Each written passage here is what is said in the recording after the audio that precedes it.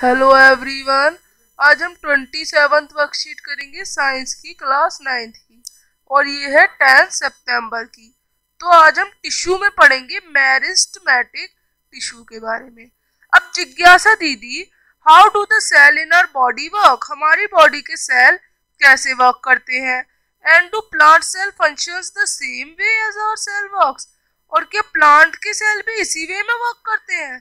ज्ञान as you already know that animal and plant both are multicellular.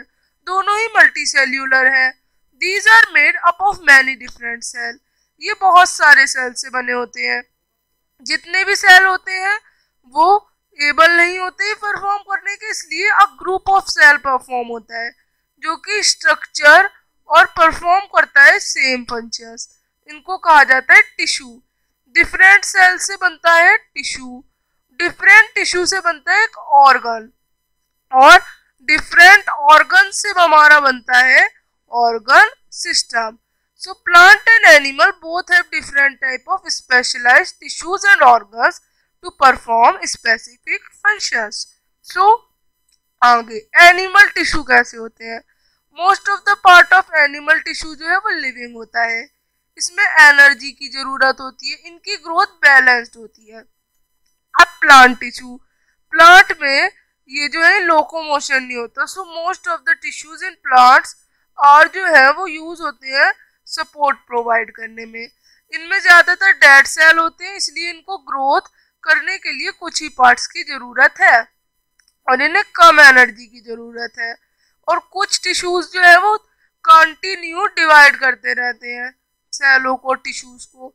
अब plant tissue को दो तरह में बांटा गया है मैरिस्मेटिक टिश्यू और परमानेंट टिश्यू आज हम मैरिस्मेटिक टिश्यू के बारे में पढ़ेंगे। मैरिस्मेटिक टिश्यू कुछ इस तरह का दिखता है। ये तीन तरह का होता है, इसके तीन हिस्से किए जाते हैं। तो ये इसके तीन हिस्से हैं। पहला apical meristem it is present in the growing part of plant ये ग्रोइंग पार्ट ऑफ़ प्लांट में होता है। जैसे कि रूट की टिप्स में स्टेम्स में। और ये प्लांट की लेंथ बढ़ाते हैं।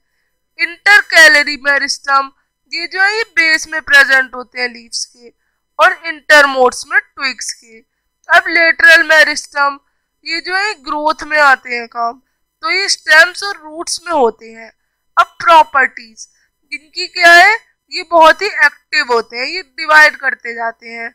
इनमें साइटोप्लाज्म बहुत सारा होता है, सेल वॉल थिन होती है, और वेल डिवाइड न्यूक्लियस होता है, बहुत अच्छा न्यूक्लियस होता है।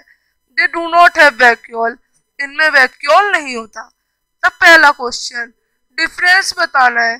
तो पहला what are tissues a group of cell that are similar in structure and performing same functions are tissues अब डिफरेंस बताने हैं तो ये डिफरेंस आप लिखेंगे। तो what are different type of meristematic tissue तो हमने डिस्कस करा था। आप यही लिखेंगे जो आंसर मैंने लिखा है। Fourth What are characteristic of meristematic tissue? These cells are highly active. They keep on dividing. They have a lot of cytoplasm, thin cell walls and well-defined nucleus.